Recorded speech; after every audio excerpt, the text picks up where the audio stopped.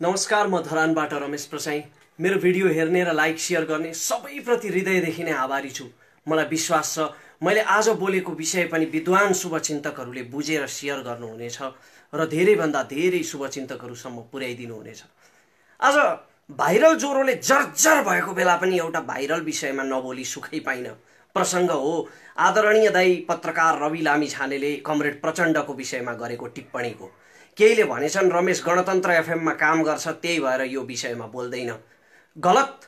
मैले गणतन्त्र एफएममा गरेका अन्तर्वार्ताहरू हेर्नुहोला। म ती विद्वानहरूलाई भन्न चाहन्छु जहाँ मैले कम्युनिस्ट नेताहरूको अन्तर्वार्ता गरेको छु।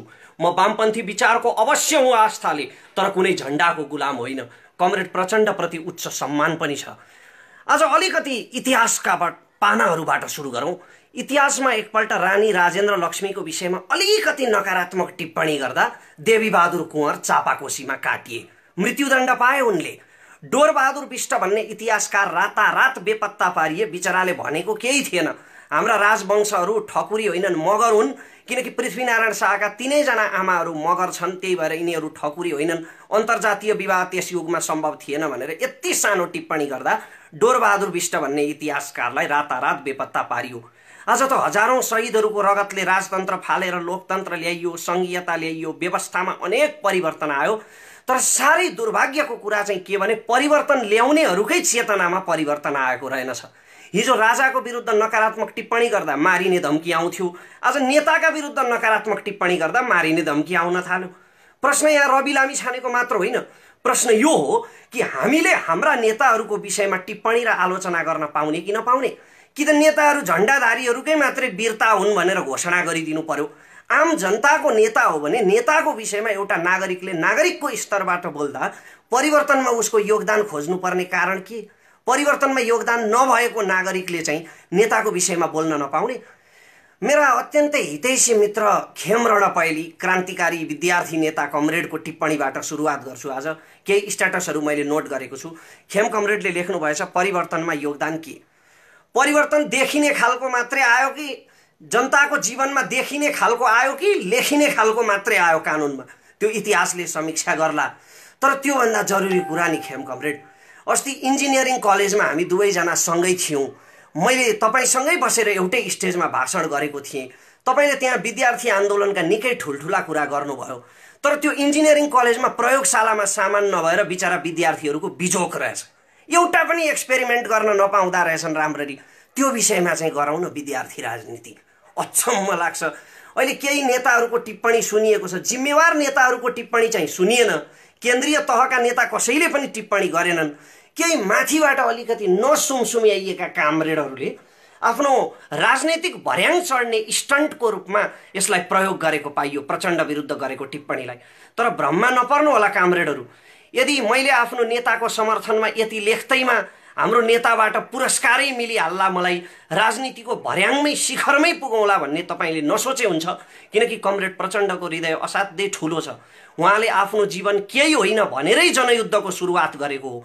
उहाँले म मारिएर केही फरक पर्दैन भनेरै दस वर्षे जनयुद्धको प्रारम्भ गरेको हो। त्यसकारण कमरेड प्रचण्डको हृदय अत्यन्तै विशाल छ र यस्तो तल्लो स्तरका तपाईँका टिप्पणीहरूको कुनै उचित मूल्याङ्कन हुनेवाला छैन।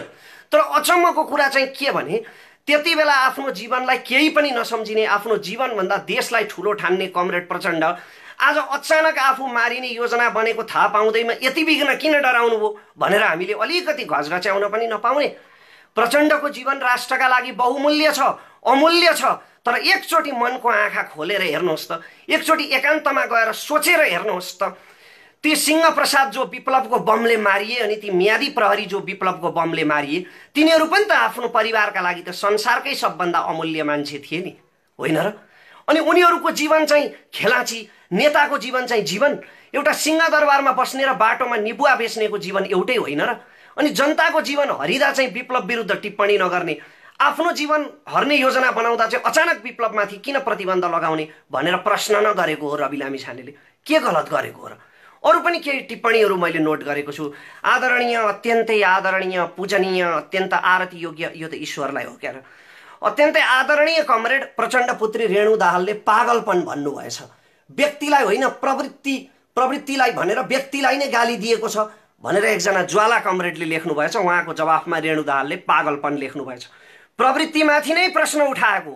हिजो चाहिँ सामन्तहरूमा नातावाद कृपावाद बढी भयो भनेर सामन्तहरूको विरोध गरेर शस्त्र उठाउने सारा जनतालाई सङ्गठित गर्ने प्रचण्डकै बुहारी आज किन मन्त्री प्रचण्डकै छोरी आज किन मेयर प्रचण्डकै ज्वाइँ किन पार्टीमा महत्त्वपूर्ण भूमिकामा भनेर हामीले प्रश्न गर्न नपाउने। अर्का एकजना मित्रले स्ट्याटस लेख्नु भएछ यो पत्रकारिताको धर्म र मर्म विपरीत भयो अरे पत्रकारिताको धर्म र मर्म पत्रकारहरूलाई कुनै राजनीतिज्ञले सिकाइरहनु पर्दैन। किनकि यो मुलुकमा नेताहरूले जति आफ्नो धर्म र मर्म धरातल कसैले बिर्सेको छैन। यो देशमा बुर्जुवा शिक्षा भनेर हिजो शिक्षालाई गाली गर्नेहरूले सबभन्दा बढी निजी विद्यालयहरू खोलेका छन्। सबभन्दा बढी माफिया काण्डहरूमा नेताहरूकै परिवारका सदस्यहरूको संलग्नता पाइन्छ।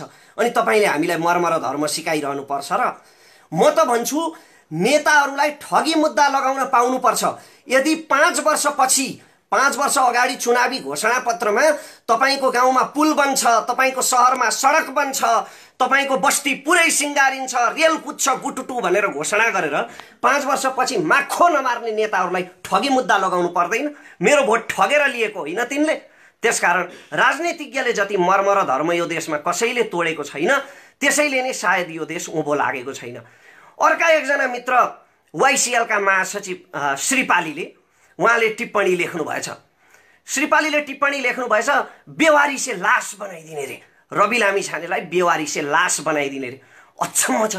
तपाईँको पाखुरामा त्यत्रो शक्ति सामर्थ्य भएको भए त कामरेड कमरेड प्रचण्डको हत्या गर्ने षड्यन्त्र त्यो हत्या गर्ने योजना त विप्लवले बनाएको हो नि। तपाईँका पाखुरा त उतातिर सोचिनु पर्ने हो बेवारिसे लास बनाइदिने एउटा मान्छेलाई बेवारिसे लास बनाइदिनलाई लामखुट्टे हो र मान्छे तपाईँलाई कुन कानुनले दिन्छ त्यो लाइ लाइसेन्स? एउटा मान्छेलाई लास बनाइदिने। लोकतन्त्रको कुन चाहिँ प्रचलित कानुनले तपाईँलाई त्यस्तो अनुमति दिन्छ? हेलो सरकारमा आदरणीय दाई रवि लामी छानेप्रति दुई चारवटा उजुरी परेको कुरा थाहा पाएँ।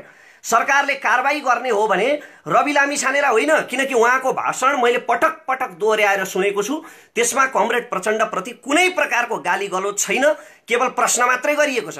कारवाही गर्ने हो भने उहाँलाई कारवाही होइन कारवाही ती गुन्डाहरूलाई दिनुपर्छ जसले उहाँको ज्यान लिने धम्की दिइरहेका छन्। ज्यान मार्ने धम्की दिन पाइन्छ एउटा मान्छेलाई कानुनी राज्यमा। अर्को एउटा स्ट्याटस लेख्नु भएछ कमरेड दिपशिखाले।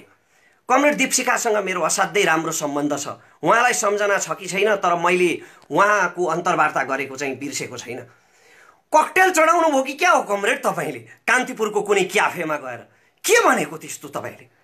एउटा पत्रकारले एउटा राजनीतिज्ञको विषयमा कुनै पनि प्रकारको प्रश्न गर्दा पत्रकारलाई ज्यान मार्ने धम्की नै दिनुपर्ने अथवा कुकर्म नगरून् भनेर टिप्पणी नै गर्नुपर्ने। त्यस्तो कारण के छ? परिवर्तनमा आआफ्नो तर्फबाट योगदान गर्ने हो। प्रत्यक्ष अप्रत्यक्ष रूपमा सबैले योगदान गरेकै कारणले आएको हो यो परिवर्तन। कुनै एउटा व्यक्तिको मात्र योगदानले होइन। प्रत्येक जनताको प्रत्येक जनताको यो परिवर्तनमा योगदान छ। ती गरिबहरूको योगदान छैन जसले छापामारहरूलाई त्यति बेला आफ्नो घरमा साई सेनाको बुट खाएर पनि सेल्टर दिएका थिए। ती छापामारहरूको योगदान छैन जो आज घाइते अपाङ्ग भएर जीवन बिताइरहेका छन्। अस्ति फेसबुक लाइभ गर्दै थिए केही साथीहरू हामी अब आत्महत्या गर्न आत्मघाती बम पड्काउन बाध्य हुनेछौँ भनेर। ती छापामारहरूको योगदानले आएको होइन परिवर्तन। यसो भनेर मैले कमरेड प्रचण्डको योगदानको अवमूल्यन गरेको होइन। उच्च सम्मान छ उहाँप्रति। आज जति पनि राजनीतिक एजेन्डाहरू स्थापित भएका छन् त्यो उहाँकै अगुवाईमा स्थापित भएका हुन्। तर उहाँले यही प्रश्न गर्न पाउने आलोचना गर्न पाउने अधिकारकै लागि लोकतन्त्र ल्याउनका लागि लडेको आन्दोलन गरेको। त्यसो भए हामीले यो लोकतन्त्रको सदुपयोग गर्न नपाउने। अब यसो गरौँ कामरेडहरू। अब यो लोकतन्त्र भन्ने कुरा हाम्रो माटोलाई सायद नफाप्ने रहेछ क्या र किनभने हामी प्रगतिशील भन्नेहरूले आफूलाई वामपन्थी भन्नेहरूले त यति साना आलोचना सहन नसक्ने हो भने हामीलाई त लोकतन्त्र नफाप्ने हो भने अरूलाई कसरी फाप्छ लोकतन्त्र? अब यसो गरौँ। संविधान संशोधन गरौँ। जसरी धर्मशास्त्रहरू लेखिएको छ रामायण महाभारत स्कन्द पुराण मार्कण्डे पुराण लेखिएको छ त्यसरी नै अब केपी शास्त्र प्रचण्ड शास्त्र लेखौँ। अनि त्यहाँ लेखौँ कि यी नेताहरूको आलोचना गर्दा के के हुन्छ? कस्तो कस्तो दण्ड पाइन्छ? म त भन्छु मुलुकी ऐनमै एउटा दफा थपौँ। राजद्रोह देशद्रोह जस्तै नेताद्रोह भन्ने एउटा दफा थपौँ। नेताको विषयमा नकारात्मक टिप्पणी गर्ने जतिलाई जेलमा जाक्ने व्यवस्था गरौँ। यो व्यवस्था गरौँ कि अब नेताका काम जस्ता भए पनि नेताको टाउको आफ्नो नेताका खुट्टाहरू आफ्नो शिरमा परे पनि त्यसलाई सहन सक्नुपर्छ जनताले। किनभने नागरिक भनेको सहनकै निम्ति हो आलोचना गर्नका निम्ति होइन। भनेर नेताद्रोह सम्बन्धी कानुनको व्यवस्था गरेर नेताको आलोचना गर्नेलाई दण्डको व्यवस्था गरौँ। भोलिदेखि हामी कोही पनि बोल्दैनौँ कामरेड।